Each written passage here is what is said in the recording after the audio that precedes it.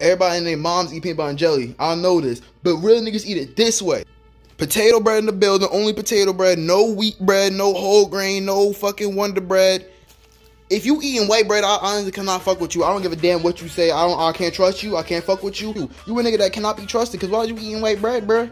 The fuck? Is Black Christian if you eating white bread? You don't find that suspicious? Oh nah. Throw them holes in the toaster.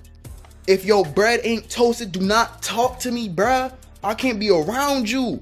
Plain ass bread you eating. Takes out this more burnt. I said it. Takes out this more burnt. That's what you put in your jelly, your peanut butter.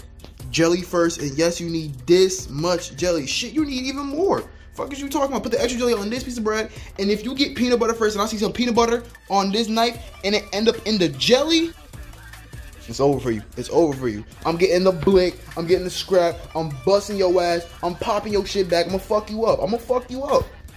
Put your peanut butter on the bread. Yes, peanut butter on this shit. That's all the peanut butter you need, bro. That is the only amount of peanut butter you need.